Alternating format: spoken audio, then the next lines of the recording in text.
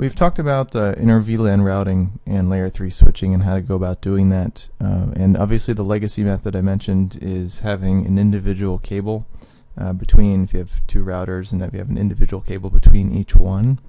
And each cable would then be a VLAN, which is obviously a very inefficient method of doing that. Uh, the more efficient way of doing that would be then to use inter VLAN routing in a layer 3 switch. But what if you don't have a layer 3 switch? The stopgap between that uh, is to do router on a stick. Uh, this is something that was done for quite a while before layer 3 switches became affordable uh, and is still taught but not recommended because it's a very slow method of doing so. But if you're stuck and this is what all you have, uh, this is a way to do so. So what we're going to do is uh, configure router on a stick. Uh, so I'm going to go through a whole topology from scratch like I try to normally do. And uh, we will figure that. I'll show you and, and uh, explain what, what, I'm doing along the way. So uh, since I'm dealing with a switch, you, you can actually do this in GNS. Uh, you can make a generic switch and configure it as a .1Q, and I'll just show you that real quick for those of you who are using GNS to try and get this done. If you drop a switch down, we're going to have to make a trunk between the switch and the uh, and the router. So we could choose this, tell it it's a .1Q, and then you add it, and it overwrites that. So .1Q, remember, is our encapsulation for trunking. So you can actually make trunk ports with this built-in switch here, uh, but you can't configure it beyond this. This is all you get. Uh, it's not a real switch. It's kind of like a it's a built-in switch in Dynamips. It's kind of a fake method of doing it. Uh, so you could potentially do this using GNS. I'm just going to use Packet Tracer so we can go into the switch and show some config, uh, show commands and such. So let's drop a switch in here, and we're going to drop a router into our topology. And then we're going to go ahead and add two computers.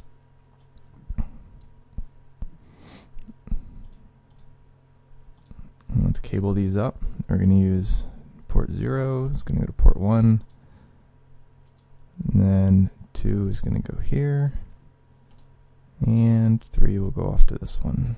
So pretty simple network. What we're going to do is go into our switch and we're going to make two VLANs. So we're in config mode and we're going to add two VLANs. So let's do VLAN 2 and we'll name it IT and we'll do VLAN 3 and we'll name it HR. Uh, so then we, if we back out of this, take a look at our VLANs. There's our two VLANs created, so that's all good. We are not going to configure any sort of IP address on this switch. I don't want to confuse you. We're going to have nothing layer 3 set up on this switch whatsoever.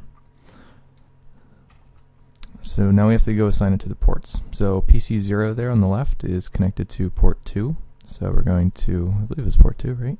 It starts at 1. Yep, port 2. Okay. So we're going to go into port 2. So I'm using shorthand, remember, so this is interface fast ethernet 0 slash 2. And we're going to make it a switch port, mode access. So now it's an access port to that PC. And we're going to tell what VLAN to use. For so he's going to be on VLAN 2. And we'll turn the port on just in case. It's kind of habit. Always, I always no shut everything, so even when it's redundant, uh, it's nice to do. We're going to do that for port 3 as well. You can see uh, the amber light there. It's renegotiating the uh, spanning tree and such. Uh, so let's do it on this one. We're going to do access VLAN 3. It's going to be renegotiating now as well. Oops. Alright, we have two ports that are up. We have two ports that are in the correct VLANs, so the switch is good for that. Uh, so now we have to connect the switch to the router, and uh, so we have two VLANs here. So we have VLAN 1 or VLAN 2 on the left side and VLAN 3 on the right side. We need to get both of those VLANs to the router so that the router can then make them communicate uh, between those two VLANs, do that inter VLAN routing. In order to do that, this needs to be a trunk because it has to carry more than one VLAN. So this has to be a trunk. So this connection here, which was uh, FA01, right? Yep, FA01. that has to become a trunk port. So that's what we're going to go do.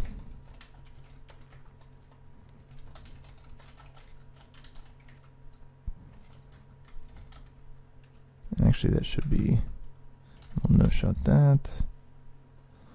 I won't do any access VLANs. Uh, so if we just do, do show VLAN, everything looks okay there, and uh, do show.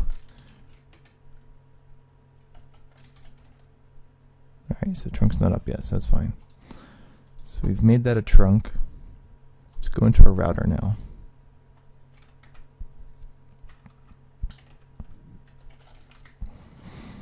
On the router, we have to turn on the interface. Then we have to create sub interfaces for each network.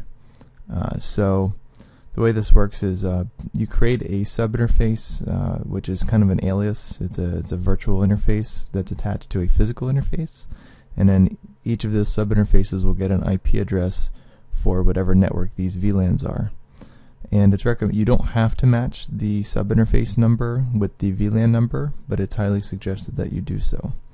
So let's uh, go ahead and do that. So we're going to go into, this was uh, what, FAOO? Starts at zero in the router. Yeah.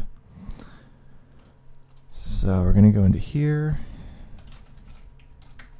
and we're just going to say, turn it on.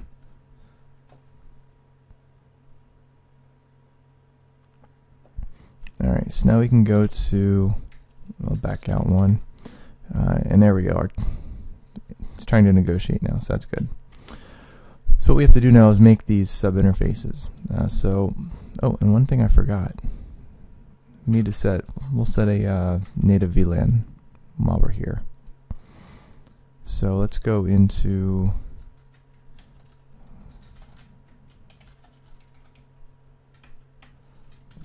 switch port trunk, native, and we'll use 99. Whoops. Native VLAN 99. There we go. Alright, so we added native VLAN 99 to that switch. So we're going to do that over here too. So let's make those two sub interfaces. So in order to do that, we just type interface FA and then 00 for this port. So we're making two virtual sub interfaces on this one port and we're going to do a dot and then dot says we're making that that uh, sub interface I'm going to match the number of the VLAN you don't have to but I highly recommend it so we're going to make 00.2 and 00.3 for VLAN 2 and VLAN 3 in here we're going to be setting up our uh, trunk information and VLAN information and such so here's where we're going to be saying uh, switch port. I'm sorry, not switch port. We're on a router. Encapsulation dot one q, and then you can tell what VLAN you want. So this will be VLAN two. And then we're going to go. I'll just back out one.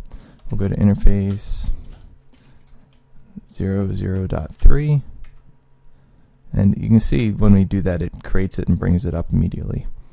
Uh, and on these sub interfaces, we don't have to bring them up and down. Uh, they'll they're automatically up because the father interface is up. So 0, 0 we already no shut. So all the sub interfaces are going to be up anyway. So let's make a uh, let's do the encapsulation on this. So this will be we're going to use dot one q and VLAN three, and then I'm also going to do that native VLAN. So we're going to make dot 99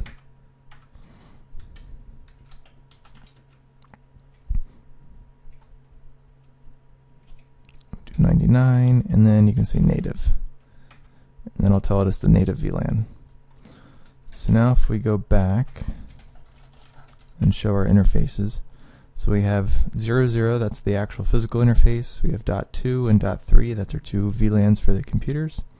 And then we have dot 99.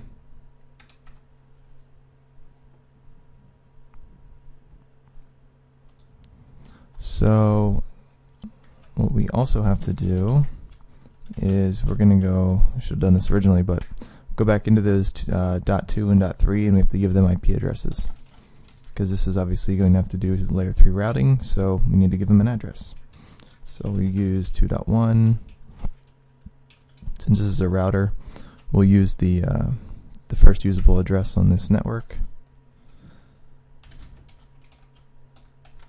I'll jump right over to dot three.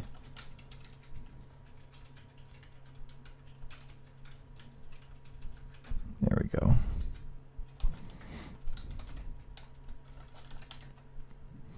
Now we have our two IP addresses. That looks okay. We'll go back to our switch.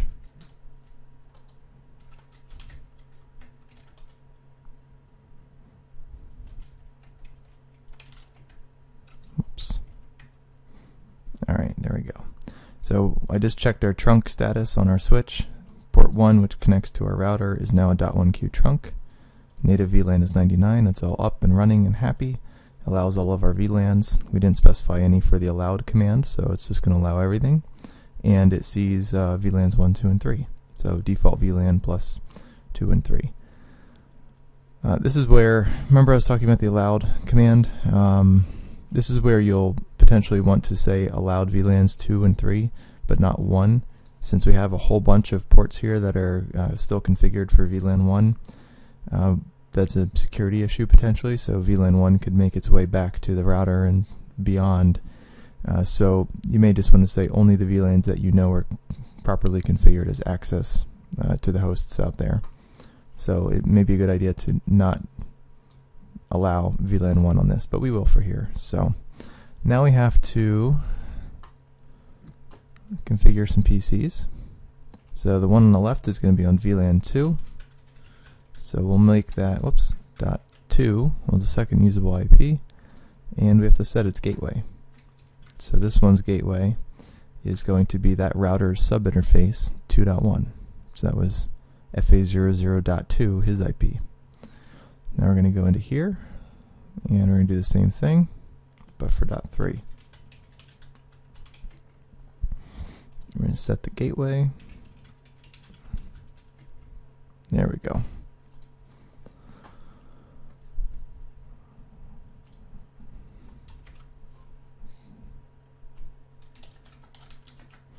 Check our route table. We have two directly connected networks, two and three. No gateway of last resort because there's no internet connecting off to this or some other wide network, so that's fine.